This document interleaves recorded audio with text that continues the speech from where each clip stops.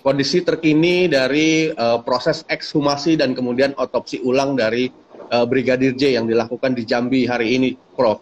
Nah ini mungkin uh, banyak orang yang juga belum tahu nih, Prof. Uh, ketika uh, melakukan otopsi ulang atau otopsi, otopsi kedua uh, setelah uh, mayatnya dimakamkan atau dikubur. Nah ini kan jaraknya antara dikuburkan dan otopsi kedua adalah sekitar dua minggu.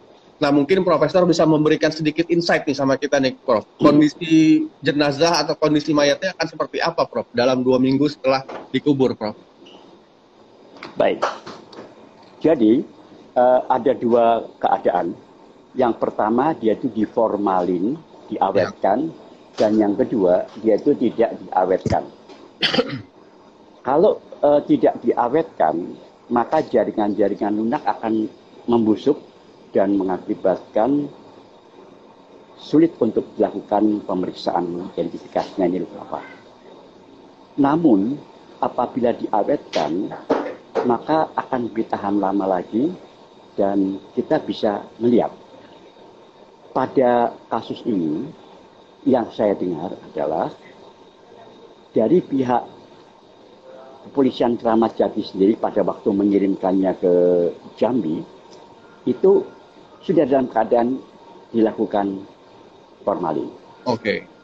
Kemudian ketika waktu di rumahnya itu supaya lebih lama lagi oleh pihak keluarga atas inisiatif sendiri diformalin lagi. Diformalin lagi. Kali. Ya betul. Jadi harapannya adalah bahwa kita masih bisa melihat luka-lukanya itu atau artinya adalah proses pembusukannya itu akan lebih terhambat.